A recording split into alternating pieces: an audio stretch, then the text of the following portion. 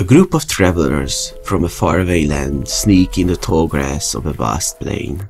Exotic animals graze as far as the eye can see, each stranger than the last. The hungry company brandish spears, intent on hunting one of the beasts. One points at a mammal, bovine in appearance. The men nod mm-hmm. and begin to crawl closer. As they slowly inch towards their prey, it suddenly raises its head, setting its gaze in their direction.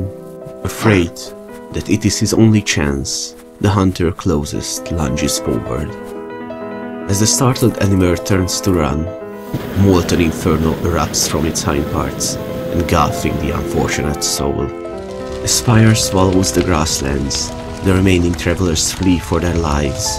As long as they live, they will not forget their tragic encounter Bonnacon. Hey there, I'm a crowing cockatrice, and this time I've brought you quite a bizarre creature.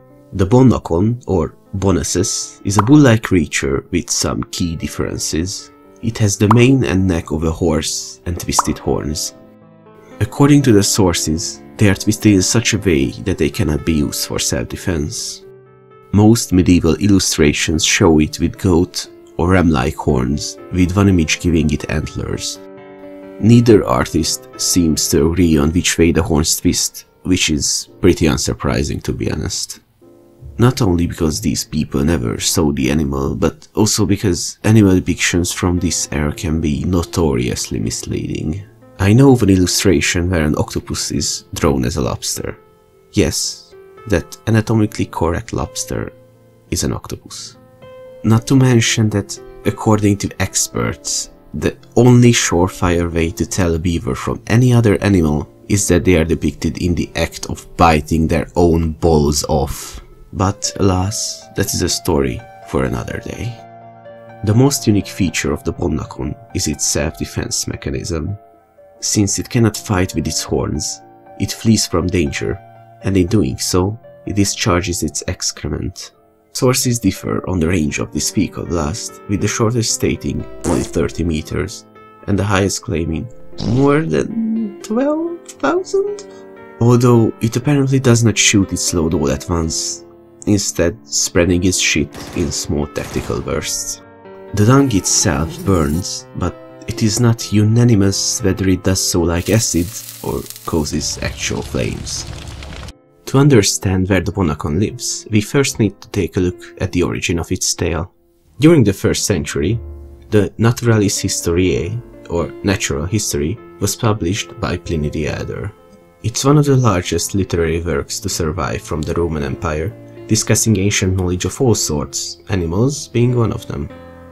Pliny stated that the animal lived in Paeonia, an ancient kingdom most likely situated in the northern regions of present-day Greece. In the Middle Ages, scholars writing bestiaries often repeated Pliny.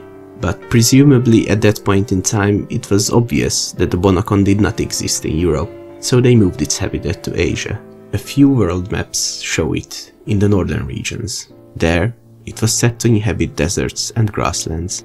It was most likely used as a sort of a shortcut, finding an easy way to populate terra incognitae, or unknown lands, with animals and monsters.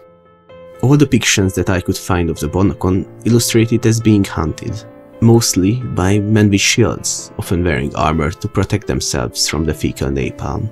This means that it was believed that either for meat or solely for sport, the beast was often hunted. The strange thing is, however, that two of the images show men with swords, a weapon that, to my knowledge, was reserved for the coup de grace, finishing off the animal, not as the main weapon. It could be written off as some weird artist mishap like beavers performing oral castration on themselves, but even that is based on knowledge. Even though it's misinformation, it was believed to be true, and it's not like the concept of hunting was alien to these artists. Since there are other images of people hunting monsters with swords, perhaps it's a weapon reserved for them, or not knowing what could kill a Bonnacon they defaulted to the most common option. I honestly don't know. There might be some undiscovered history buried here, or I'm just crowing away needlessly. So, after this tangent, let's move on to the second half of the video. We need to discuss how it has to be changed to be realistic. In the case of the beast's biology, there are a few changes that are necessary. Most of the body is fine as is. It even classifies the Bonnacon as a bovine, belonging to the Bovinae family, but I would not go further than that for now. One of the two things that need to be changed is its horn, or rather, it has to be clearly defined. Going by real-world examples, we could take inspiration from some domestic water buffalo breeds. The Buffalo de Rio, Buffalypso, Godavari, and Mehsana varieties, for instance, have horns that over their head, which is one of the necessary properties, and these horns are still useful. And they do need to be useful. No animal would go to the length of growing horns if they have absolutely no function. I know medieval authors muddled things a bit, but Pliny wrote that they are no use in a fight in the context of predators and hunters. And with such an excellent secondary weapon, they do not need them for that either. But water buffaloes also use them for something else. Or rather, two things. For once, they fight to establish dominance, charging at each other using their horns. And since this is a more sensible way as compared to shitting acid at each other, horns are indeed necessary. Their other use is in the creation of mud holes for wallowing, perhaps also useful in taking sand baths in the desert.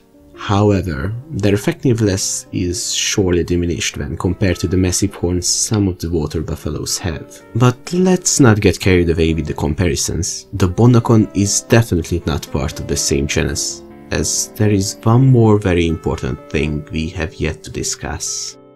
When I think of the Bonnacon's defense mechanism, two animals come to mind immediately. The skunk and the bombardier beetles. We all know very well what the former does to attackers, but it does not carry the main properties of the Bonnacon spray. However, this animal can shoot its load up to 3 meters far. While it's nowhere near the 30 meters mark, it's a start. We could borrow its two glands each side of the anus and the muscles allowing it to shoot far with high precision. We could also theorize that, being a larger animal, the Bonnacon has stronger glands, gaining range on the spray, but I don't think the 30 meters are even necessary, 5 to 10 being a good compromise. But what does it spray? I toyed with the idea of something similar to the solution of the bombardier beetles, but I'm not sure it's the right choice. These diverse insects share the ability to mix two solutions and enzymes with the help of two glands to create a series of reactions, the end result being a near 100 degrees Celsius substance that practically explodes from the abdomen. It burns due to the heat and is also irritating, with several bursts capable of killing the victim of the attack. While on paper it seems to fit, there are a few issues. Firstly, the fact that due to the heat 20% of the spray instantly evaporates and changing the mixed amounts to several hundred or even thousand times of the original could have unforeseen effects on both the volatility of the resulting mix as well as the strength of the explosion, potentially blowing the Bonnacon to Kingdom Come. Speaking of which, this mechanism leads to the solution being discharged as a result of the reaction, not with the help of muscles, leading to the range and potentially the exact direction of the shot being out of the hands, well, ass of the Bonnacon. Not to mention that the way this evolved is very specific to beetles, making it highly unlikely to also appear in bovine buttocks. The other solution could be formic acid, which would be a better fit. Formic acid is most common in ants, who use them to attack other animals or defend themselves. In high concentrations it can be very dangerous, as it burns on contact. What's more, formic acid can formulate naturally, even in humans, with methanol being the basis of the reaction. Methanol most likely originates from the fruits we eat, but can also be produced from other plant materials. Thus, with a herbivorous diet and dedicated organs to facilitate the production of this substance, it is viable although the storing glands need some defensive coating lest the Bonnacon loses its butt. There is one issue however. It's not easy to mix dung and formic acid, so the scholars of the time would not claim that it excretes fire. So, what's up with that? Well, there really is no nice way to put it. Spraying all that acid must be hard. They are probably prone to shoot themselves while straining. With the biology done, we can see that the Bonnacon does not fit any predisposed classification beyond bovine, since most cows don't fart acid. In this unique case though, we do have a Latin name, Bonasus, which would make a nice genus name. If it were up to me, I would dub it Bonasus vulgaris, or common Bonnacon, since it has quite a habitat range. Speaking of which, next on our list are the places it inhabits. Paeonia is a good start, but since we cannot rely so heavily on medieval world maps, its Asian spread can only be defined as roughly the northern parts. Based on this, we can assume that regions like the Gobi Desert and the Mongolian Manchurian grasslands are the places we could find the Bonnacon. These vast lands support other animals of similar size and needs, like the Mongolian wild ass, the Bactrian camel, and the Mongolian gazelle. While these lands are harsh, a bovine species grazing here is not unfeasible. Even today, people herd their animals on these grasslands, and the only problem Bonnacons would face is that mud beds are quite limited here. And what about the Paeonian habitat? Vegetation-wise, it fits, because dry grasslands are common there. But what's up with the distance? It's not unusual for such animals to have migratory tendencies, walking large distances of land in their search for large grazing grounds, but the Gobi Desert to graze would be highly unlikely. The most likely scenario would see the Bonnacons inhabiting this huge span of land. Of course the populations would be separated, since the grasslands themselves are not continuous, but a large part of Eurasia would see a few of their communities. This though raises another question. How can this species be so successful as to inhabit such a significant portion of the world? We needn't go further than the example presented by the bombardier beetles to answer this. Even though we do not use their exact chemical process, the two defense mechanisms are effectively the same and no animal eats bombardier beetles.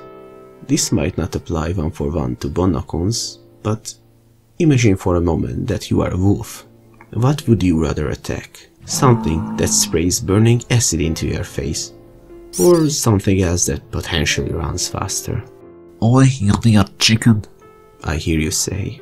You said that in medieval times scholars moved the animal exclusively to Asia. So what's up with that? Well, to answer that, dear viewer, we have to move on to discussing its potential influence, as the two are linked. Based on depictions, hunting was imagined to be strongly associated with the beast. It was, after all, a large mammal in ancient Europe, so we can safely assume that it was methodically exterminated for fun, like so many other species. Perhaps in Pliny's time the Bonnacon was already overhunted, surviving only in Paeonia, while acid spraying might save them from ordinary predators, it only incentivizes hunting for the most vicious one.